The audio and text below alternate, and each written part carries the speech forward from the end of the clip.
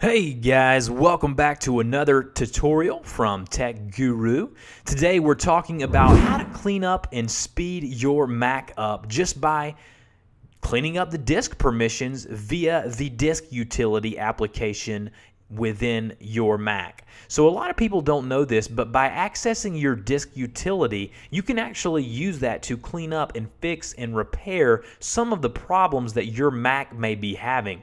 So if you go open up your Finder, which is down here. Obviously, you probably know that. Open up a Finder window, go to your Applications folder, just like so, and then go to the Utilities folder, which has a little wrench icon there, and click on that. Once you're there, go ahead and scroll down until you see your disk utility application. It looks like an external hard drive with some doctor's tools around it there. Click on that and open up the disk utility. Once you're here, you're going to see a whole bunch of probably confusing buttons, but if you just wait, I'll tell you exactly all you need to do.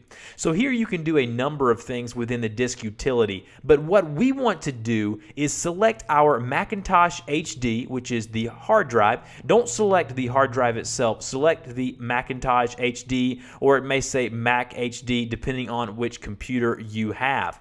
The next thing you need to do is select the first aid button, which is right up here on the far left, and then go down to the repair disk permissions. Now, a few warnings.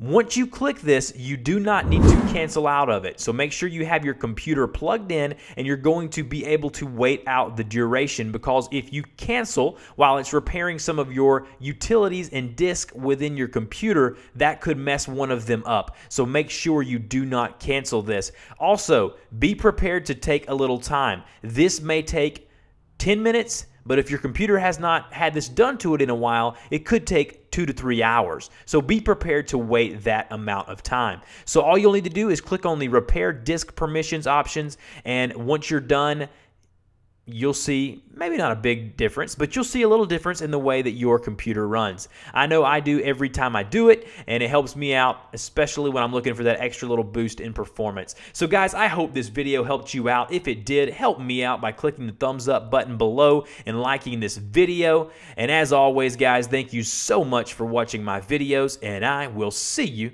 next time.